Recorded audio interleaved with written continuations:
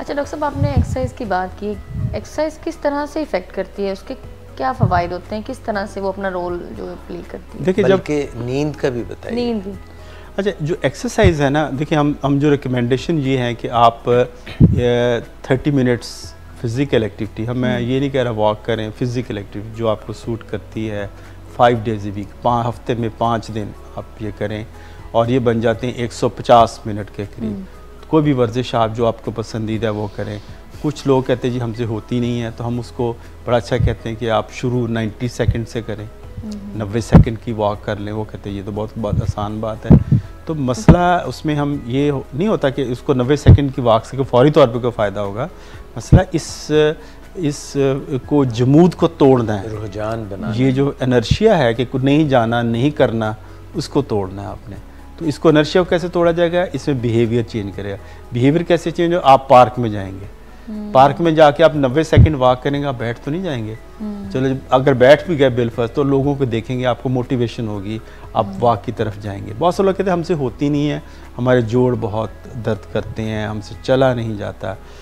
तो आप नेट पे गूगल पे या यूट्यूब पे आप सर्च करें कौन सी एक्सरसाइजेज हैं जो आप कमरे में के अंदर बैठ के कर सकते हैं, अपने बेड पे बैठ के कर सकते हैं, और अपनी कुर्सी पे बैठ के कर सकते हैं। आप कोई फ़र्श पे लेट के या जो भी आप चटाई बिछा के कर सकते हैं, जो आप एक कमरे के अंदर कर सकते हैं। तो मसला है कि इसको जमूद को तोड़ के फ़िज़िकल एक्टिविटी की तरफ़ आएँ, वर्जिश की तरफ़ आएँ। और फिर भी अगर हमें वक्त नहीं मिलता, मैं बहुत दफ़ा कहता हूँ भी पेशेंट को आप स्प्लिट वॉक कर लें। स्प्लिट वॉक ये होती है कि आप हर खाने के आधा घंटा बाद 10 मिनट की चहलकदमी कर लें।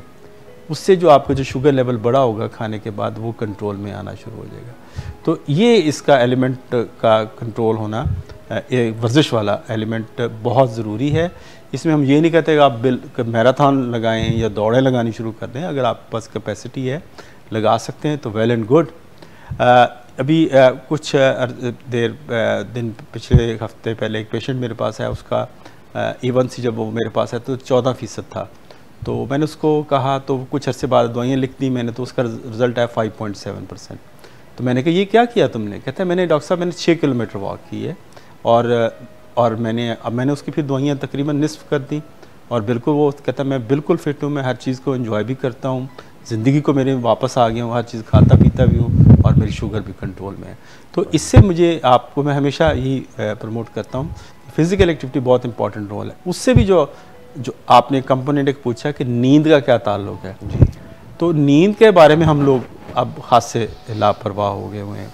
आप ये देखें कि मेरा नहीं ख्याल कि हम जब दुनिया की जो तरक्की याफ्ता जिनको हम कहते हैं और हम समझते हैं कि वो बड़े मॉडर्न लोग हैं तो अगर आप कभी यूरोप में या अमेरिका में जाने का इतफ़ाक़ हो तो आपको वहाँ नज़र आएगा कि वीकेंड के मैं बात नहीं कर रहा। वीकेंड जो आप वीक डेज़ के अंदर जो है आपको वहाँ पे सात आठ बजे सन्नाटा नज़र आता है। हम्म। लोगों के घरों की लाइट्स बंद होती हैं और अगर सुबह सुबह उठें अगर मैं एक दफ़ा एक शहर यूरोप के एक शहर में था तो मैंने खिड़की खोली सुबह फजर के बाद। तो सड़कें बिल्कुल ट्रैफ़िक से बिल्कुल चौक हुई हुई थी। सारे लोग काम पे जा रहे थे। अभी अंधेरा था अभी सूरज तलू नहीं हुआ था। तो सारे लोग काम की तरफ़ जा रहे थे।